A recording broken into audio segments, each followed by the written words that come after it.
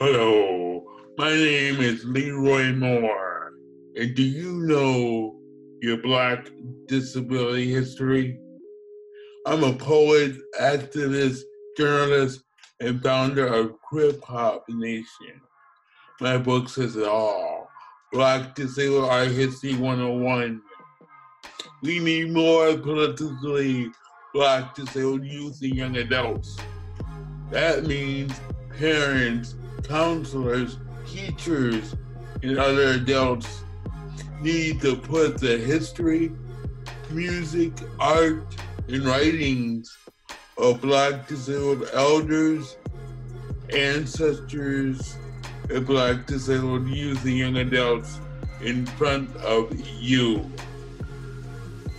Crip Nation, Poor Magazine, Sins Invalid, and the National Black Disability Coalition have added to the rich artistic and activist foundation for you to walk in the spotlight of your life as the next generation of Black disabled adults.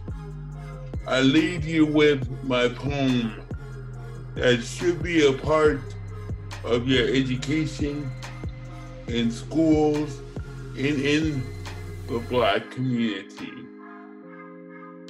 entitled Black Disabled Art History 101.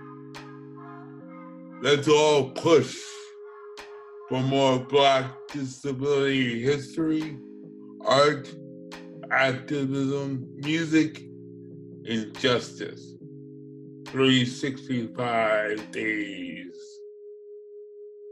Peace. Hashtag disability rights in black. Happy Black History Month.